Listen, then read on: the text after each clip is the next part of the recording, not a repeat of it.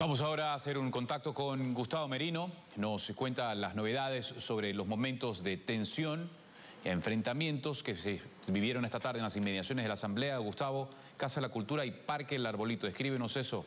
Buenas noches y cómo está el, el panorama a esta hora ahí.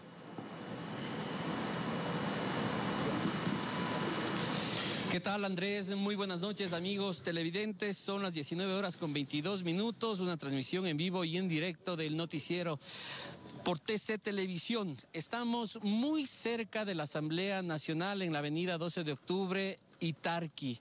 Al momento, elementos de la Policía Nacional realizan tareas de limpieza, como ya observamos en imágenes en vivo y en directo, reiteramos calles que han quedado como zona de conflicto al momento y luego de que esta tarde se tomaran acciones para desalojar de estas inmediaciones a los manifestantes que cada vez mostraban mayor agresividad.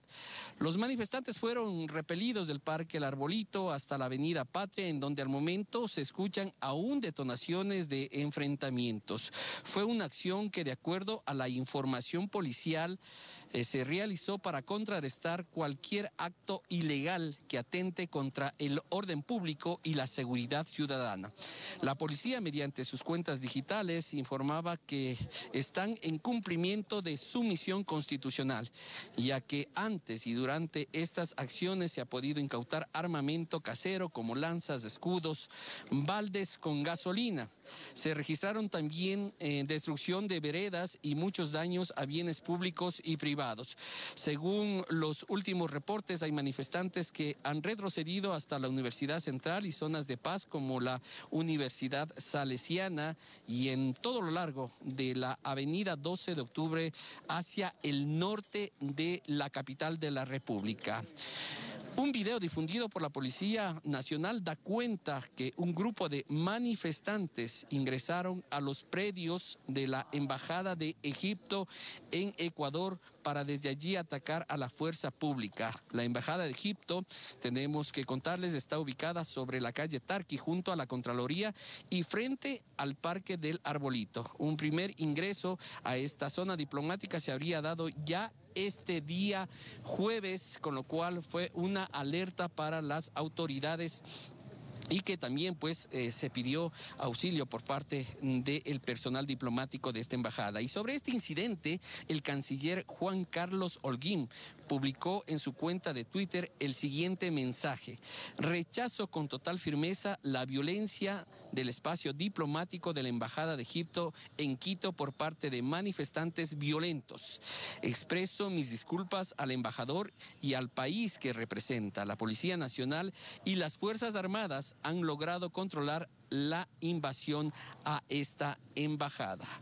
Otro de los sectores, les contamos cuando son las 19 horas con 25 minutos, otro de los sectores afectados son los hospitales de esta zona. Los pacientes, familiares y médicos de las casas de salud aledañas a la Asamblea Nacional y el Parque El Arbolito son víctimas colaterales de las manifestaciones. Este es el caso del Hospital Eugenio Espejo. Hemos preparado un reportaje sobre este drama y les presentamos de inmediato. Observemos. Susana es una madre que en medio del paro experimentó la desesperación más grande de su vida por llevar a su hijo al hospital Eugenio Espejo en el epicentro de las manifestaciones. Tengo un hijo con cáncer, mi hijo tiene 17 años y desde hace una semana mi hijo se ha sentido mal pero para poder llegar aquí a emergencias ha sido una odisea. Las protestas no dan tregua ni a los enfermos y Susana, con lágrimas en los ojos, pide paz. Y como pueden ver aquí en el hospital, cómo se escucha el, el estruendo de las bombas, esto es una pesadilla por favor, ya terminen con este caos porque ya no, ya no podemos más. La situación de Susana y su hijo es uno de los tantos casos de enfermos y familiares que esperan de noticias en las puertas del hospital. Pero la molestia de nosotros es la situación de la gas lacrimógena.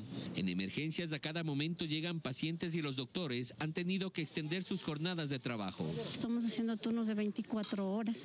Entonces, eso es para evitar esto, para tener cubierto todo el hospital. Para la directora del Eugenio Espejo, más allá de la molestia de los gases, el problema ha sido la imposibilidad de que los pacientes lleguen. La situación geográfica en la que nosotros estamos, eh, tan cerca de todas estas áreas de conflicto, la Casa de la Cultura, la Contraloría, la Asamblea, eh, sí nos pone en una eh, zona crítica en la que sí nos vemos afectados definitivamente nosotros como servidores de salud y también nuestros pacientes para acceder al hospital. Así los doctores, pacientes y familiares del Eugenio Espejo piden tregua y piden paz. Gustavo Merino, TC Televisión.